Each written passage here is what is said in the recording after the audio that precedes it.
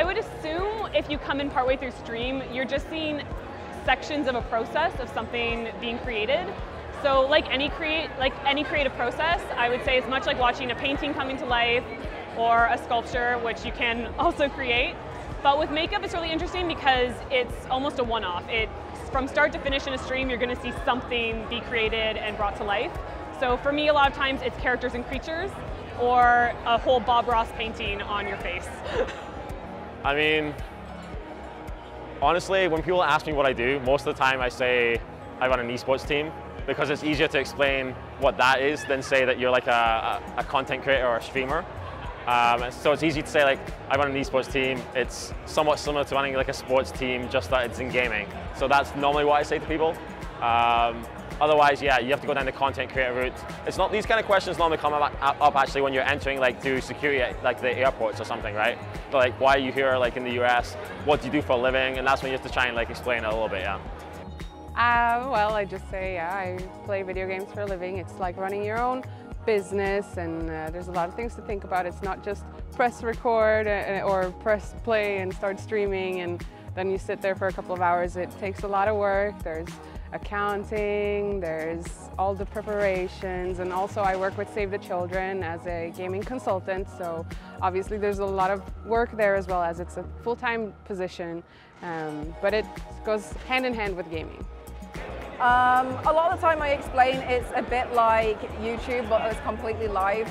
I explain that it's very much, um, the interactivity is so much better. Because I'm doing something which is very educational, it's so easy for somebody, um, for instance, in a lot of the Instagram community who also like makeup and body art to come in and ask me a question and say, how did you do the shading on the fabric folds? Can you teach me about that? And I'm like, yeah, sure, I'll add another fabric fold in here so I can teach you how to do it. Or for instance, people who want to say like, how do you paint something to look like it's metal, then it's so easy. And before people used to think that um, I did a lot of makeup artistry, I was a makeup artist, they, they think all these things.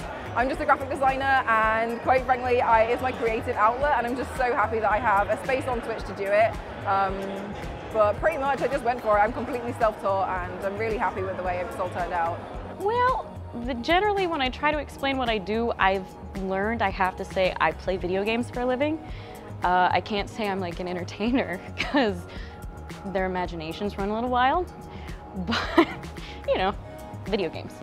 To someone that doesn't know what streaming is, I would say I have my, depends how old they are. Uh, if they're very old, I'll tell them I have like a little TV channel um, and I have my little audience that I can talk to and they support me and I, I try to be entertaining and have my own show. That's, that's what I explain. Um, so a lot of times when I'm streaming body paint and I'll be painting, say I'm being a red devil and I'll paint my entire shoulders and face red, a lot of people ask, oh, well, do you go out after that? Do you go to the grocery store? No. I sit in my house and eat chips. Like, I take photos and then I'm done. Like, a lot of the creative makeup is for me and then I document it and then the beauty of it is that it never lasts. It's that I do the makeup and then it's done. I take pictures and then... I try to paint a picture that I'm a, I just, you know, play games, but also try to be entertaining for people who watch. So I'm like a, like a TV channel. That's like the thing that they typically understand when they don't know anything about streaming, uh, about the gaming culture. It's like, oh, you know what? I have like a TV channel on a platform that you can watch on the internet. And they're like, oh, well, that kind of makes sense. But when you tell them, oh, I play games for a living and, you know, people pay to watch me, I'll be like, kind of makes no sense for them. You know? yeah.